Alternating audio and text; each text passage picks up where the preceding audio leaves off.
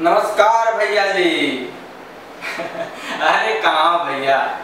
आपसे बिना पूछे हम कुछ करते थोड़ी ना है। अरे, हमारी बात छोड़ो।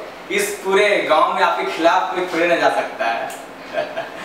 अरे भैया, हम जब छोटे थे ना, तब से आपका हाथ हमारे सर पर है। आपने जो कहा हम करते गए, चाहे वो कुछ भी हो। भैया जी हमसे गलती हो गया। वो क्या है ना? शर्मा जी की जो बेटी है, उससे हम प्यार कर बैठे तो भैया जी, हमारा उसके साथ ब्याह करवा दीजिए। उसके बाद आप जो को वो होगा।